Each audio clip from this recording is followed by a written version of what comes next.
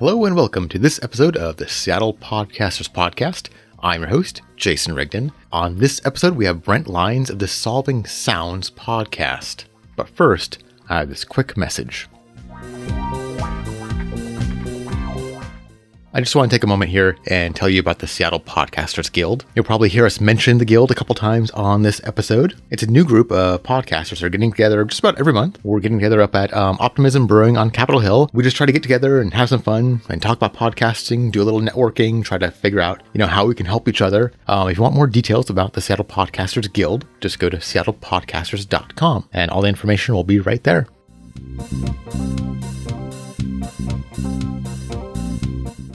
So I'm here with Brent Lyons of Solving Sounds. How are you today? I'm doing great. How are you doing, Jason? Doing pretty good. So could you tell me a little bit about your podcast? Yeah, um so uh basically so I'm a musician and um I've always kind of felt like I was a bit of a fraud. Like I'm not like a real musician, or at least I don't feel like one. Like um I took music lessons and, and things like that from teachers, but I kind of fudged a lot of things and always kind of figured things out of my own in a weird way. And I kind of wondered if other musicians felt the same way. And so I thought it would be really interesting to interview other musicians and kind of figure out how they figured everything out around music, whether it's like learning to play instruments, how they figured out how to write their own songs or kind of navigate being in bands, recruiting other people or recording albums in a studio. I just thought as a music fan that would be super interesting to hear. Um, there's another podcast called um, Song Exploder, and um, yeah, it's a pretty well known podcast, and um, they talk a lot about one specific song where they dive super deep into how that song was written and i thought that was really cool but i kind of wanted to approach that that same style with a musician's entire career. Um, just diving into the super details and doing it in a way that would be interesting to other musicians and also just music fans, people that are interested in music. So that's that's kind of how I got started, and that's that's what it's about. Well, it's also very interesting just on uh, the creative side of it, just hearing people talk about the creative process. Yeah, yeah, and uh, different people approach the same thing in so many different ways. That's really inspiring too just to kind of hear their jumping off points or their foundations and kind of how they ended up where they were. You know i've i've only done uh, 10 interviews so far so i'm still fairly new to it but uh, there has not been any sort of repeats you know? It's uh, everyone has their own original story and their own original approach and that's always been super interesting um, to me just just as a listener. You know, it's sort of, I would say I started this podcast partially for selfish reasons, you know, just um, to entertain myself or just kind of really have a chance to sit down with someone and kind of ask them everything I've ever wanted to know.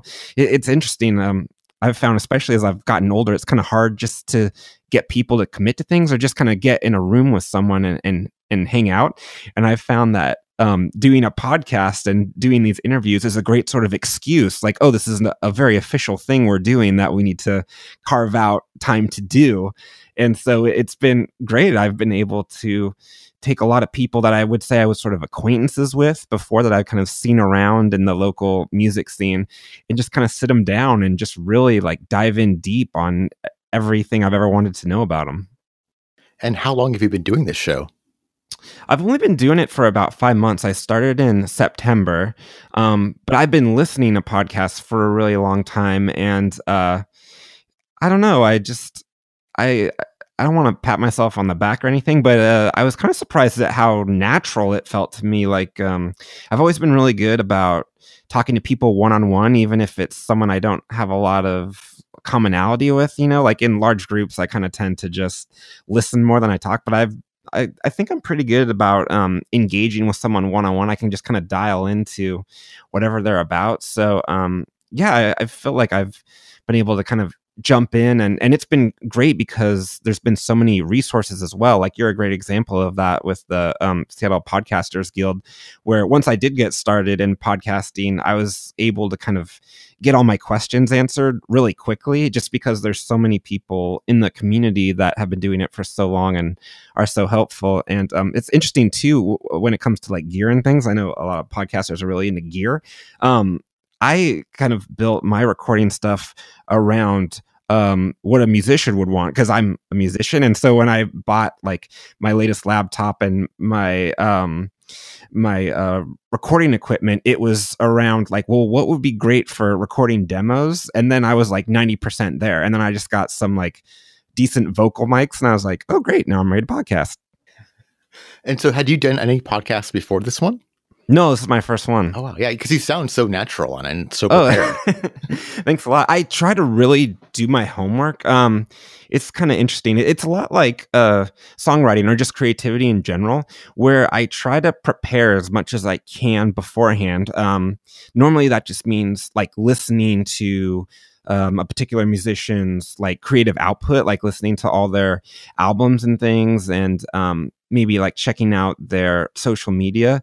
And um, I actually write notes to myself, like I write kind of like a loose kind of map of how I want the interview to go, or sort of the key points I want to hit. And I kind of have it with me while I'm doing the interview, but I found I rarely need it because I kind of just remember from doing it. And I, but when I'm doing the interview itself, I want to leave room for whatever to happen to happen. Like I don't want to sort of push the interview too much to where the the interviewee feels kind of uh, stifled or something. So I I I try to really um, just do the homework in advance, so I'm kind of ready. But then once it's happening, just kind of let whatever happens happens. I've found that that's a really good way for me, at least, to have kind of um, an honest and deep conversation with somebody. yeah, you seem to have a really good balance with that. It's kind of hard to know which side to go on. Mm-hmm. Can you, Yeah. Um. Oh, go ahead. Can you give me just a minute? I have a very sad cat that's outside the door that I need to get. Oh no. Yeah. Absolutely. Hey, honey, I'm in here. I know. Look, look, look, look, look. All right. Yeah, I even got you your blankie. Yeah. I think you should leave all this in. I don't think you should edit, edit any of this out. Sorry about that. I, I think I think you should leave all that in. I don't think you should edit any of that. I'm being serious. yeah, maybe. Yeah, yeah. I've got like a special towel that I keep for recording that they can lay on, and I hope they don't fight. But That's, it's funny. I have two cats as well, Mhm. and um, sometimes when I'm in my like I don't know office or whatever doing my thing, and they hear me talk, they'll like scratch at the door Yeah. to like get in or put their paws underneath the door, and you can like it's like audible. It, like the mic Yep. picks it up, you know. yeah, you're like, can I give you some treats? That's why I have like, I found this one towel that they really like to lay on, and I basically keep it away from them unless I'm recording. Mhm. And I try to make it like a big deal about, look, the blankie's coming out. Look, look. yeah, it's a special treat. yeah, yeah. Yeah, this is all gold, dude. You should leave the thing. yeah. so let's see. Uh, where was I? Uh, let's see. Well, let's go. Uh, let's go with um. Oh, let's go. So, what's been your biggest challenge of doing this show? Uh honestly, the biggest challenge is my own insecurity, I would say. Um just because I've I would always consider myself uh to be an introverted person. I'm not super comfortable with being in the spotlight or um people looking at me or just being like the center of attention. It, it- it's funny. Um I've thought about doing a live podcast um, but then the idea of an audience and people looking at me while I'm talking kind of scares the crap out of me. But it's it's hilarious because there's this sort of uh, vague disconnect where I can speak into a microphone. You know, I'm just sitting by myself right now with a microphone and I feel totally fine saying whatever. And I know that people will hear this, you know, so it's essentially the same thing me talking and then their ears listening. But there's, I don't know, something about my brain like where I see them looking at me where I kind of freeze up. Um, so and just like public speaking in general has never really been my bag. You know, I've never really gravitated towards it, and you know, I've always sort of hated my own voice. You know, hearing hearing your own voice and the playback was kind of rough, and I think it is for most people. But um, it's been cool because the longer I've been doing it, I don't know if it's just repetition or what it is, but you just kind of like make peace with it after a while. And it's like, yeah, I'm just kind of nasally and whiny and have a little bit of a lisp. And that's the way it's always been. People haven't like burst out laughing when I start talking to them. So it's like my voice can't be nearly as bad as I think it is. But um, I would honestly say that was my biggest my biggest challenge was just sort of like getting over myself and just thinking, you know, I deserve to have a podcast and put mm-hmm. content out and have it be at a quality where it's worth listening to, you know? Mm-hmm. Yeah, it's a shame. I, a lot of people, you know, want to start podcasting, even buy all the equipment. But when I talk to folks, there's a lot of, um, there's a very big phenomenon of like delaying and procrastinating because of those mm-hmm. things. I don't like how my voice sounds. I feel uncomfortable. It's like being on stage. There's all these things, yeah. and you just have to kind of jump in and just if once you do it a few times, you you start worrying about all kinds of other things. well, and you quickly realize that no one cares. Like yeah. I mean that in a good mm-hmm. way. Like mm-hmm. um I remember in my first couple episodes I was like, "Oh, I said something, I like revealed something embarrassing about myself or I like said the wrong word." Like I was talking to a friend uh who was in a metal band and they were called Iron Dragon. And I said, So tell me about when you were in Iron Maiden. And he was like, What? I wasn't in Maiden. I would have loved you. And I was like, Wait, what did I say? And and he was like, Iron Dragon. And I when I was editing it, I almost cut it out. I was like 90% going to edit this out. Just me looking stupid, right? Saying the wrong word. But for whatever reason, I was like, uh, maybe there's like some sort of truth in this vulnerability. You know, it's like I should just you know, accept it and eh, just put it out there. But I was like kind of nervous about. It. I was like, oh, I'm gonna like hear about this, you know, how I like messed up, and you know, no one cared. Mm-hmm. No, no one said anything about it. You know, it's just, and it's sort of um refreshing in a way. You know, you get so locked into just oh what are people going to think and oh like i was saying earlier it's like i'm a fraud they're going to figure out like i'm no good i don't deserve to be here and and the podcast has really helped me a lot just in terms of getting used to my own voice and um, just being okay with uh, making mistakes and putting those mistakes out there. And a lot of times it's funny, it's like the more vulnerable you are and the more you put yourself out there and show your scars and your insecurities, it's like the more people accept you and respond yeah. to you in a positive way. So it's really sort of counterintuitive. But I agree, it's like once you get started, you, you start to see it and it's um inspiring. It makes you want to do more. It's like, oh, well, if this is okay, like, what if I say this, or what if I do this, or what if I have this guest on, you know? And um, it's exciting because it kind of starts to push you towards just new things that maybe you wouldn't have done before. Yeah, I think people kind of strive for both perfection and authenticity. And I don't know if you can have both at the same time. I think you need to have those flaws to build that authenticity. Yeah, it's funny. I've uh, talked to a couple other podcasters who get real deep in the editing, mm. and I'm just not that way. Like I, I, I spend a lot of time kind of figuring out where to like cut in and cut out of the interview. Like I, I'm not a big fan of like, okay, we're starting. It's official now. Like I um listened to Pete Holmes's podcast. You made it weird, and he just has the mics on before him and the guest even get in the room. So like you hear them kind of in the background for the first like 20 seconds, kind of like mm-hmm. fumbling around and sitting down and stuff. And I really like that sort of natural flow. So I, I kind of spend some time figuring out where I want to cut in, but I rarely ever edit an episode. There's like a couple times where like people need to like go to the bathroom and stuff and it's just like dead air. Like of course I'll cut that out. But um but I've uh, heard some other podcasters who get real nitpicky about ums and ahs and long pauses. And I think that just goes back to vulnerability and authenticity. You know, it's like I think people want to be a part of the conversation and and I think leaving all those long pauses and things in helps create that that feeling because it's real. And some people, that's the way they talk. It's kind of like their feature of yeah. the way they speak. It has those kind of pauses, a certain rhythm to it. And if you edit that out, it sounds like it's a different person. Yeah, and I think people can tell because it starts to sound kind of choppy and it's kind of funny. It's like um, TV editing with like reality shows. Yeah. It's always like bing bang boom, real like um, ADD, like yeah. oh, it's something new right in your face all the time. Right. And um, I think people have really responded to the long form interviews and podcasting. When you think of like Marc Maron and you know Pete Holmes, these types of people that have like I don't know. I think Pete Holmes his podcasts are like two or three hours or something like that, and uh, I love it. Yeah, I definitely think that there's that um strange effect. I think it's like the jump cut, like on YouTube, you'll see, and you'll hear that in some podcasts. And I, I know I have been guilty of that before. mm-hmm. Yeah, you see that a lot in YouTube. It's almost, um, I don't know, like a, I don't know how to say. It's like a graphic artistic choice or something. It's it has nothing to do almost with the pause. It's just sort of like a a beat I don't know. It's just like a, a move, a thing. It's like a, a, graphic or something. I don't know if that makes sense. Yeah, no, no, totally. So, what have been some yeah. of the biggest rewards of doing this show?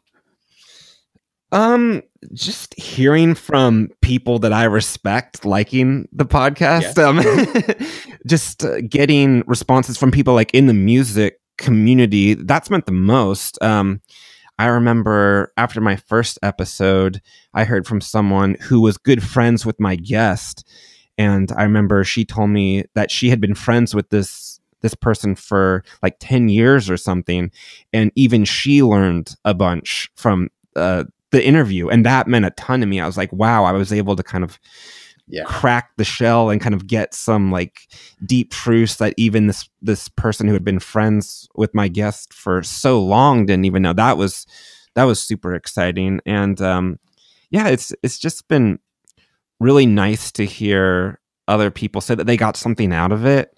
And um, that's that's honestly the best part for me. And then i already kind of talked about the personal rewards of just kind of getting more confidence and getting more excited about doing it. So I, I would say those were the biggest rewards. You don't run any ads or ask for any donations or anything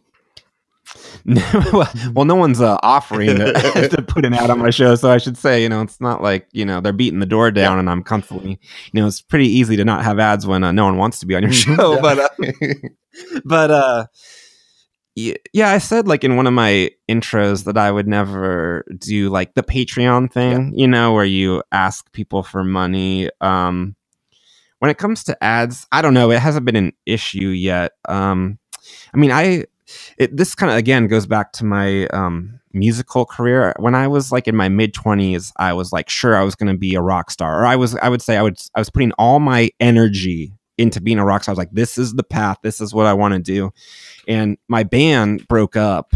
And this was the band that I had poured, you know, my heart and soul into. You know, I was like doing everything to like get shows and put posters up and, you know, playing like Wednesday night at 1 a.m. to two people, knowing I have to like wake up at 6 a.m. the next day, like that kind of stuff. And when that band broke up, I I kind of changed my perspective and and I was like, you know what, it's it's okay to have a day job. You know, it's not the end of the world, especially if you can find something that you like doing or you work for good people or people that you like.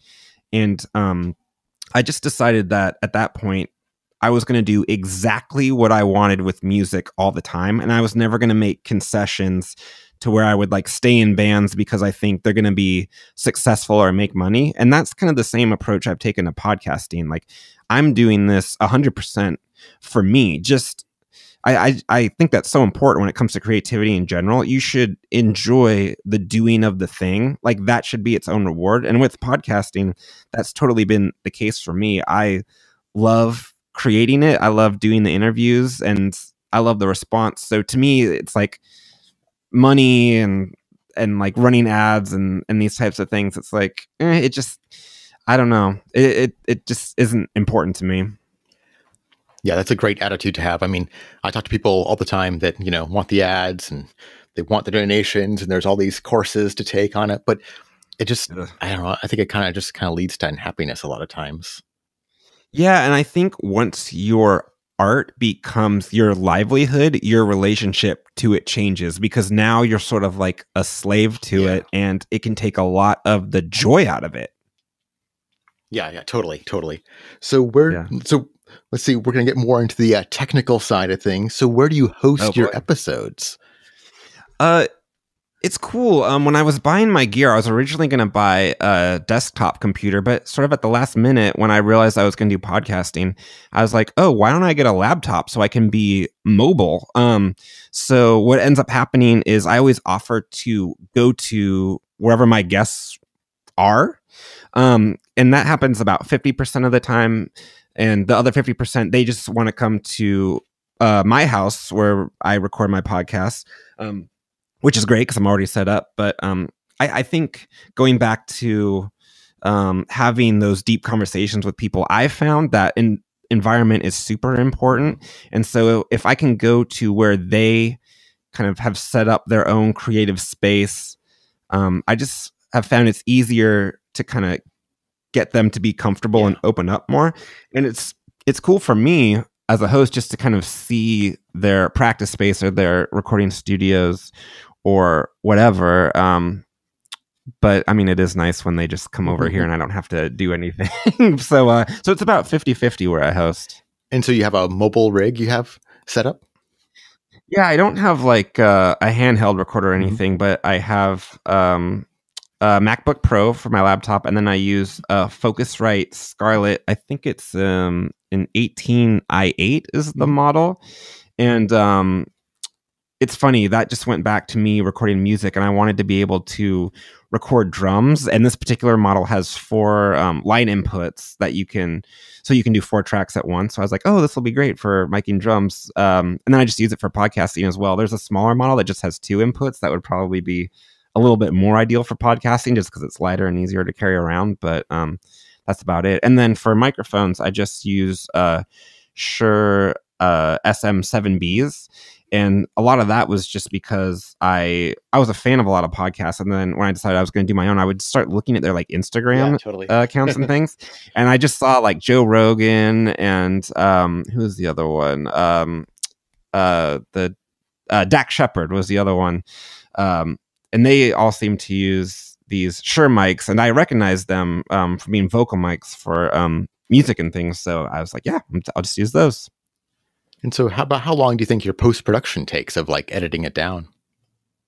It it doesn't take too long. I would say maybe between an hour and an hour and a half. Um, I so how it works is I have like you know the music cues, and then I have the intro where it's me talking and kind of setting the interview up, and then like 98% of it is the interview. And I always wait to do the intro until after I've done the editing and kind of listen back to the interview because I want to have it fresh in my mind because most of the time I'll like want to it'll remind me of something or I'll want to comment on something that was said. Um, I'm trying to get better about references. I realized early on we'd be talking about specific things that if you weren't in like the Seattle music scene, you wouldn't know what we were talking about. Like we would talk about like a very specific studio or something like that, where it's like, okay, 99% of people don't know what that is. Um, so uh, so most of the time I would start just by editing the interview and I just would do some sort of light compression, EQ, that kind of stuff. I don't get too crazy. I'm not a big like techie mm-hmm. person. Um, and then after I would do that, I would go back and record the intro um, just because the interview is fresh in my mind and I feel like I can uh, comment on it or maybe say something relevant to kind of set that up. Um, and then I just insert the little music cues and things, and then I upload. And it's funny. Um, I think this is true for a lot of podcasters, but uh, writing the show notes mm. takes me a long time. And I don't even write, I write like maybe a paragraph. But for whatever reason, this seems to be like the most brutal part of it for me that I kind of slave over. Um, so I would kind of include that in the editing process as well. I totally feel you. The show notes. I never know what to write. I'm like, yeah, yeah. Like sometimes either. there's like, um, well, maybe like references you're saying or certain things that we talk about, like a certain microphone or something, and then I would put a little link in there. But I don't know what else mm-hmm. to put. it's funny. I kind of uh, started this thing where I'd say, you know, this week's it's funny. I try to start different too because I realized I kept saying like today on the podcast, and I'd like look at my history and like every show note started with today on the yeah. podcast. I was like, oh, I don't like that. I want to like mix that up. And then I s- would say, we have so and so on, and they tell us about, and then I would list like three things. And then the third one, I'd always try to make like a funny thing. and then like the fifth or sixth one in, I was just like, ugh, why did I do this to my, why did I create mm-hmm. this model that I have to follow now where I'm like, okay, what's funny? Yeah. you know? Well, and the sad part is a lot of time listeners don't even look at the show notes at all. And you'll be like, they'll ask you a question. Yeah. You're like, oh, it's in the show notes. And like, oh, mm-hmm. like, okay. yeah. And um, I don't know if you were planning on asking about this, but um, I kind of go back and forth about um, doing the uh, self promotion in the promos. Uh, there's been a few where I'd be like, hey, you know, it really helps out if you subscribe and review on iTunes, and I'd list like the social media links. And um, I don't know. I d- I didn't really enjoy doing that. I don't think anyone really does, but I know it's like super important. So I found just throwing those on the end of every um, show note helps okay. a lot just because it's one tap you know it's like if they want to follow you on facebook they can totally. just tap the link and boom they're there so um, that's been a really good use of the show notes that i've found yeah so do you have any tips or um, comments about what you've done to promote the show yeah, I've actually uh, tried a lot of things. It, it's funny. Before I started the podcast, you know, I was saying earlier, it's like I'm just doing this for me, and you know, it's I enjoy just doing it, and that's all great. And whatever, if people listen, it's great. If they don't, you know, I know everyone says that, and I I said it too. I was like, yeah, if just one person listens, like that's enough, like all that kind of stuff. Um, but once I released an episode, I was shocked at how much I cared about the numbers and just how often I would hit that refresh button to see like did anyone listen to any more downloads, you know, and um you know to be honest with you, I be- I became a little obsessed with the numbers and uh, I became a little like competitive and I was like I just I want more people to listen, you know, and I was getting good feedback and I was feeling like what I was putting out was was good and so I wanted people to hear it. So I I, I tried some some different things and um I tried a Spotify ad. I don't know if um, anyone's talked about that, but I I was really trying to think of where my audience would be. And I was thinking Spotify is great because they're all about music and they started doing podcasting a couple years ago. So if they're listening to Spotify and they hear a promo for my show, it's just one tap, boom, they're still in the Spotify app, but now they're listening to my podcast. So I thought that was kind of a clever mm-hmm um, advertising approach, but I found that it did not help my numbers oh, no. very much at all. Okay. Um, I was kind of shocked. Um, another thing I tried was, um, do you know the Stranger magazine in yes. Seattle? Yeah, I I kind of thought the same thing. I was like, okay, the people that read the Stranger are a lot of times really interested in music because that's like a, one of the main features of the magazine. So if I can get, um, and a lot of times um, I do this in bands where if I had a big show like an album release, I would take out like an eighth of a page ad in the stranger to promote it. And a lot of music venues around town um, would do that, where they would just post their their calendar yeah, in the totally. Stranger magazine. So I was like, oh, I bet um, that would be a good spot for me to to advertise because the people that like the stranger that's sort of my audience and again like i was kind of surprised at how little that actually ended up helping um, i think some of it is because it's not easy yeah. like i think if they were just on their phones and it was just like one tap boom you're like there it'd be easier but i think because it was like you know a paper magazine that you're looking at, then you have to pick up your phone and open up, you know, your podcasting app and then go search for it. I think that might have hurt it a little bit. Um, and I've tried a few other things that have actually been more successful. I um, did a um, what do you call it? Just a, an ad, I guess. I did an ad on the Overcast mm-hmm. app. Yeah, do you know that yeah, app? Totally. Yeah. Um, so instead of Spotify, which is like a 30 second promo where you record like a uh, it's like a little commercial where you record like, hey, this is what my podcast is about, and you have like background music and stuff. Overcast just has um, a banner underneath the controls, like the play and rewind or whatever, and um, it just has a, your thumbnail and just like a little one or two sentence thing about what your podcast is about. And for whatever reason, that's been working really well for me. Um, I think part of it is because there's different categories that you mm-hmm. can um, advertise in, and they had a music section and a lot of um, the slots were available because I I don't see a ton of other music podcasts.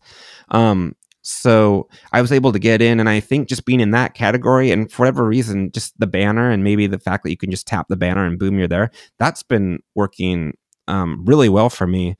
Um, beyond that, um, actually, this is another like plug for the uh, Seattle Podcasters Guild. Um, I went to the first meetup last month, and that helped a ton, just because I was able to meet other podcasters and um, just kind of. Uh, share stories, but also a lot of people were looking for guests and kind of cross promoting.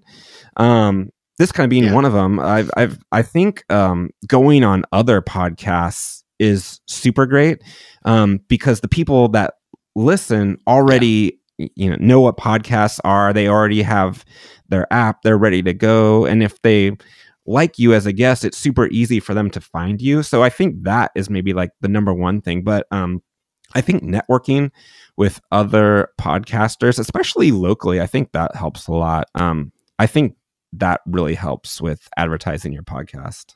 So, do you have any advice for people maybe thinking about starting a podcast? Um, it's become sort of a cliche. I know a lot of people say this, but I would say just uh, get started. You know, a lot of times people want to wait until everything's perfect and they have all the perfect gear and they know exactly what they're going to do. And I don't know, it might go back to like the insecurity thing where they don't want to like put anything out there that they think is imperfect. But the problem is you you rarely ever get to the point where you feel good enough that it is perfect. Um, I wish I had started podcasting, you know, like six months earlier when I was first thinking about it. It kind of took me a while to wrap my mind around it. Kind of like what I was saying earlier. It's like, does anyone care what I say? You know what I mean? Um, and uh, I, I kind of know everyone says this, but it's the truth. Um, yeah, just just do it. Just start, even if you don't think it's perfect. Um, just starting it is good because you learn so much, and then you know your future episodes are great too. And it's it's just it's just good to get started. That's what I would say. And so, do you spend any time like uh, keeping up with like podcast industry news? Um, I joined a bunch of Facebook yeah. groups just to kind of see what's going on, and I've had kind of mixed results yeah. with that. Um, a lot of times they're very techy. You know, they want to know about like microphones and things like this, and that just doesn't interest me at all. And um, I've been kind of shocked at what I've seen a lot of podcast topics be about. Like, I'm kind of blown away that there's so many quote unquote entrepreneur yeah. podcasts. Like, I just feel like that's a bit of a racket. Like, suddenly everyone's like a life coach. Yeah, well, you, know? you know why there's so many of those entrepreneur podcasts is because a lot of those guests will pay you money to interview them. Oh, I didn't yeah. know that. they don't like to talk about it, but it's going to be a big topic, I think, this summer. Oh man, yeah, yeah you broke that wide open. I had to know that. And it's it's funny because yeah, everyone's like doing the self promotion thing where it's like, yeah, have me on uh, as a guest on your podcast. Like I'm a spiritual healer oh, yeah. and a life coach, and um, I'm a motivator, self starter, and you know, you want to be a successful business person and entrepreneur. You know, I just see that over and mm-hmm. over and over again. So you said you were a big podcast listener, right? Yeah. So um, how do you discover new shows?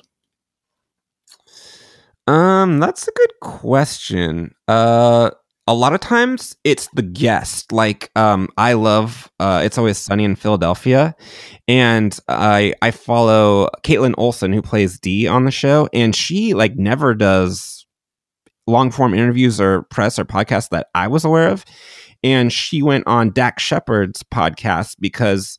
Um, I guess they were old friends. They were on like an improv team, like way before they were famous and so I listened to that that podcast, um, Dax's podcast, because I am interested in her. And it's funny with Dax in particular. I always thought he was kind of a douche, you know, like I knew him from like Punk'd and I just always thought he was kind of like a jock and just kind of, I don't know, I just didn't like him. And it actually this was kind of an inspiration too for me starting was i listened i loved his interview with kaitlin and then i started going through his other interviews. I was like oh he's really good at this. And then i listened to more interviews that he had done and it was great and i started subscribing and i listened to every single one and i kind of fell in love with the guy at the end like his approach to life and just how he was kind of talking about things. I was like wow i went from thinking this guy is you know not that great to really liking him and his point of view. Um, so that that's kind of one way. Um, another is really word of mouth. Um, that's how I discovered uh, the Dollop, which is um, just uh, it's a comedy podcast where uh, these two comedians, one of them tells a story from history, and the other kind of like reacts to it, and uh, it's to me for whatever reason i don't know if it's their format or whatever but it's the perfect like binge podcast and someone had recommended this to me before i had to do this two day, like eight hours each day road trip. And I just binged. I probably listened to like 20 episodes of The Dollop. Um, and I just loved it, you know? Um, so those are probably the two two biggest ways. It's I normally well, also a lot of times um there'll be like a fa- a famous person that starts Mhm. a podcast. Like I was a fan of Pete Holmes's comedy, and then I heard he started a podcast, and I kind of dove in that way. So I think that works for a lot of people. Like you see it a lot with comedians. I feel like every comedian has a podcast No, now. they should. um, yeah, yeah, it's it's the perfect medium. But um, but yeah, I would say those were those are probably the major ways I discover podcasts. And as a listener, do you have any like podcast pet peeves?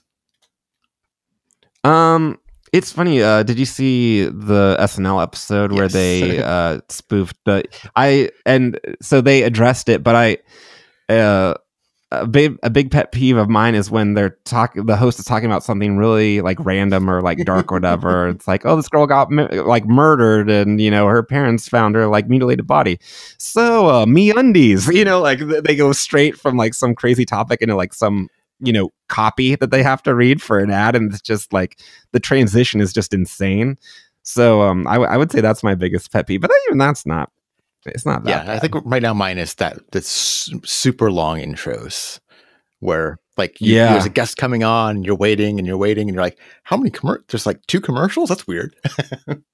Yeah. Yeah, I definitely don't have that problem. I keep my intros pretty brief. I I don't need to hear my own voice. It's funny too, like if the podcast was just me talking, no way. It wouldn't work. I wouldn't want to do it. And I, I think it would be way less interesting. But um going back to what I said earlier about you know having conversation with people for whatever reason that's like much easier and a lot of times they'll say something that like sparks something in me and so i i know just me talking is not that interesting all i'm trying to do is kind of set the interview up so maybe you'll enjoy it more but yeah i i, completely agree with you it's funny too um especially when uh hosts have the exact same like sponsors or whatever and they just say the same thing each intro over and over that's that's not good Yeah, it was like, like Casper mattresses and Squarespace, and it's always the same people. Yep. Stamps.com, Blue Apron. Mhm. What are some other good ones? This is like fun. What are like the go to like I podcast sponsors? I want to say like I know, I feel like way there's more was GoDaddy. Ev- I mean, GoDaddy did everything. Oh, uh-huh. Yeah. Oh, Squarespace. Yeah, Squarespace. Yeah, yeah, Squarespace. Yep. Everyone's sponsored by Squarespace. Yeah, yep. yeah. Yeah. Yeah. Totally. And I feel like MeUndies is huge. Oh, the Cash App. A lot of big, big podcasts Yeah. are sponsored by the Cash App. Well, I think um, there's a guy here in town that does um, a podcast called Dented Dimension, and it's like a kind of fictional, Mhm. weird universe kind of thing. And he's actually had some fake commercials at the end. That's So it was really like, cool. Like I there's like um, a parody of one. Of, I forget which one it was. I want to say it was like a meal kit. That's really funny. I kind of had a similar idea. Um, it's funny. There's this studio. It's called Earwig Studio, and it keeps coming up a lot in my interviews because a lot of my friends record there. And I was uh, talking to Don, who is the guy that runs it, and I was like, "Dude, like you almost like owe me like a sponsorship because we like promote your show so much." And then it's funny because there's this um like quickie mart next door called uh, Darn Good Grocery there's a shout out for you. But um, that it's run by this uh Korean family that doesn't speak English very well. And anytime I'm at a studio session, I always like go over there and get like beer or snacks or whatever.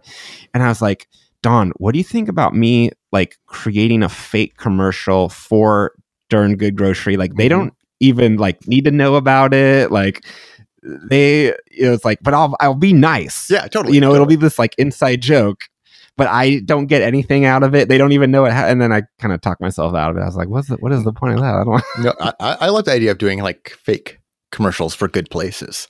Yeah. Yeah I totally It's- dig that. That would be great. One other thing i started um, doing a little bit too is the um, promo swapping that that's pretty cool because it's sort of like doing uh, an ad but it's for like another podcast that you either like or is local and it's it's cool to kind of like help the community in that way so i've been Mhm. doing that a little bit and so that's kind of been what i've been putting like in place of ads and i think that's been really great And are you putting those at the beginning of your show, like, or at the very end? yeah um it's a that's a good question. I try to honor them by by doing it after my intro and before the uh, interview because i feel like it will get heard. Um when i've swapped with a couple people i was kind of disappointed to be honest because like they just sort of tack it on at the very end. They don't even like mention it or put it in any sort of context. It's just sort of there.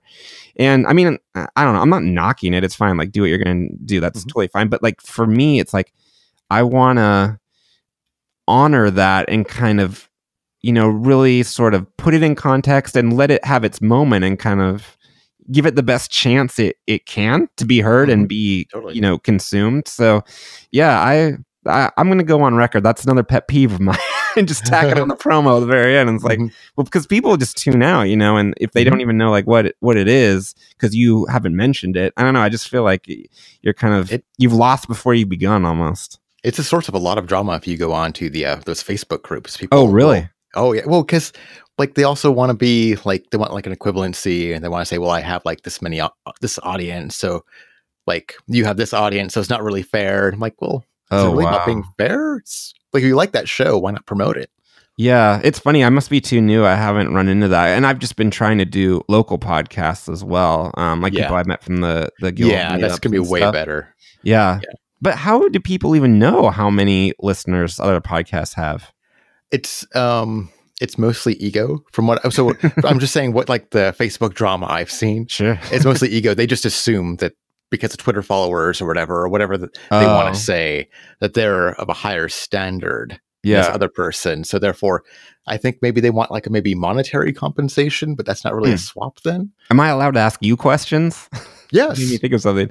So what do you what do you think about that, especially when it comes to like social media, like let's say Twitter, for example? D- do you believe that Twitter followers equate to an audience? Because that has not been No, no, my no. experience. No, no, not at all. I, I just was writing a thing today about how um so I I do a bunch of different podcasts over the time and like I have one person I use an example. I don't say their name, but you know, they had, you know, like a hundred thousand followers and you know, it was kind of I didn't do my research to know that most of them were fake. Yeah. So even though they're like kind of prominent in this community, but you know, their their tweets are getting like maybe one or two likes. yeah. And it's like, well, it's all about the engagement. Like Yeah. you can, it's that engagement. That's another big thing I learned um, from music that's a parallel with podcasts because there's a lot of these like quote unquote PR firms out there. Yeah. If you want to get like, oh, a hundred listens on Spotify, or if you want to get your uh, album reviewed on these blogs, you know, you Yeah. pay like thousands of dollars and you get you know these reviews from blogs that no one's ever heard of that it's just like dudes in their like mom's basement or something where it's like nothing or they get these like digital like um, digital plays like on internet radio stations that no one's listening to the people a lot of times and this is definitely true in podcasts it's like they get more hooked on the numbers than the engagements like you said it's it's really about um so so i subscribe or i don't subscribe i um host my site through libsyn Mhm. and they do their own podcast which is about podcasting i i don't think it's a, a rival to you i think you're saying i don't Oh think no, no, the, the, the, feed, the feed is great. Yeah, the feed exactly. Yeah. Um, and and Rob on that has always said, you know, it's not about listens, it's about listeners. Yeah. And I think that's so true. It's like you can get some dude in India to hit the button Yeah, to play totally. your episode a million times, but he's not really listening to it. He's not engaged. It doesn't matter. You know, it's like it's I, I've found it's much better to have a hundred people who actually listen to your podcast, enjoy it, and engage with it Mhm. than like a thousand people who aren't even paying attention. Yep. And it's, yeah, it's the the feeling you get from people interacting with you genuinely from your show is amazing. Mhm. And like I see a lot of people faking it and like I just wonder how they feel.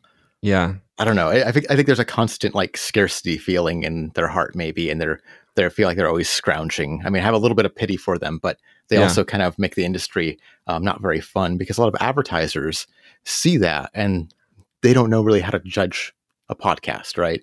And so a lot of times they just judge based on the Twitter followers, Yeah.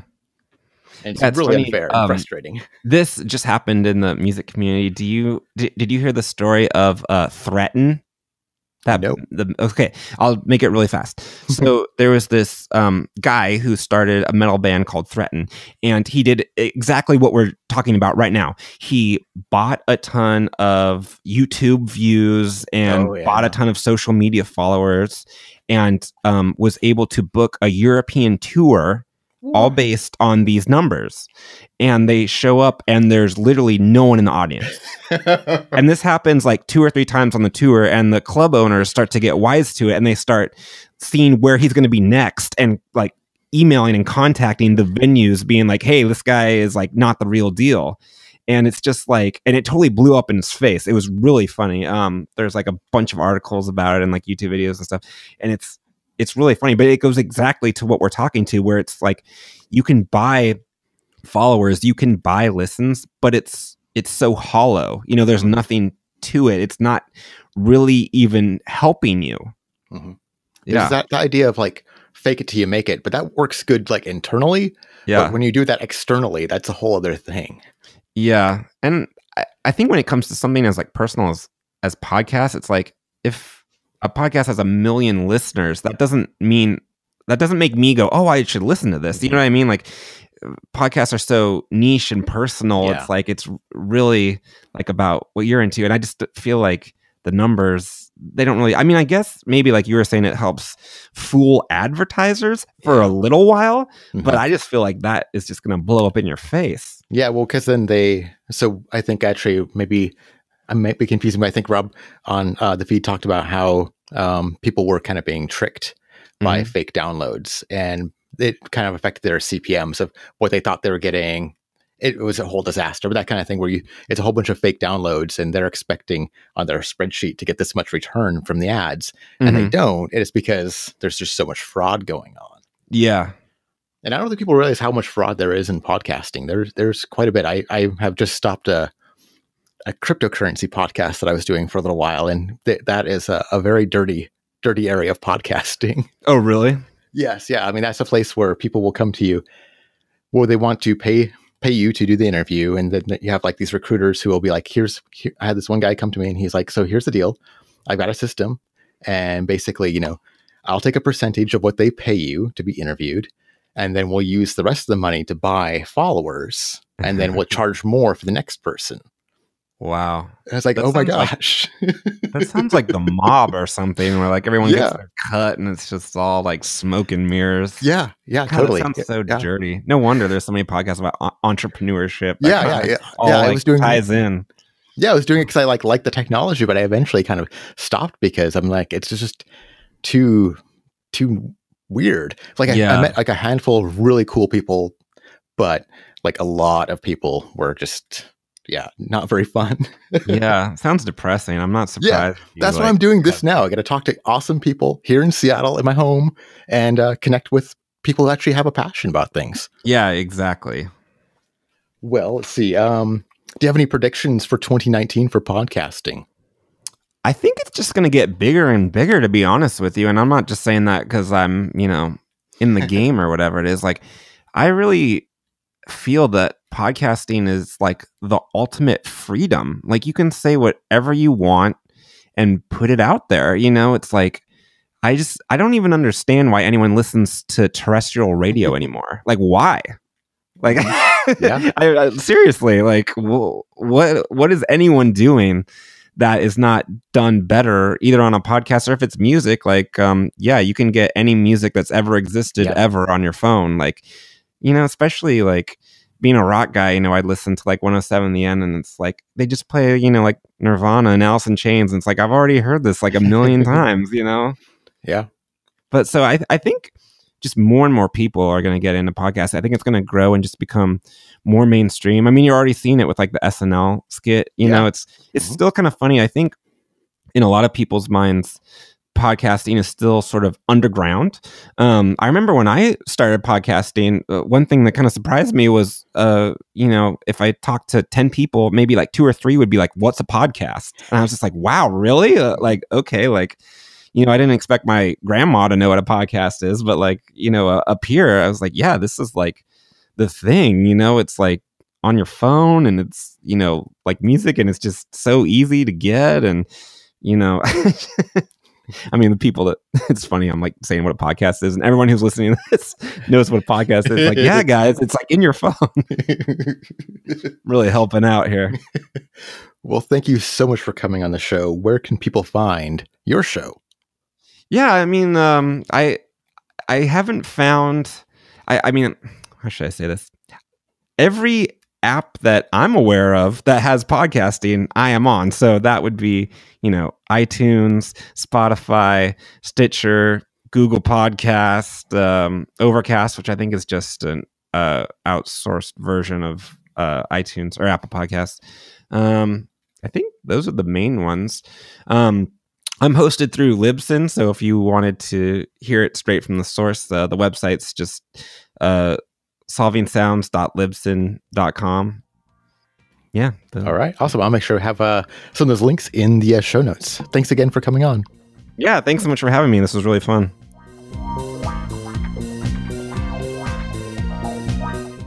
Thanks again, Brent, for coming to the show. Your attitude and positivity was just infectious. It really gave me a lot of energy. It was a great conversation. I really appreciate you taking a chance and coming on the show, telling us about your process and why you do what you do, and just podcasting in general. Um, thank you so much. Um, you've been listening to the Seattle Podcasters Podcast. I've been your host, Jason Rigden, and uh, I hope to talk to you again soon.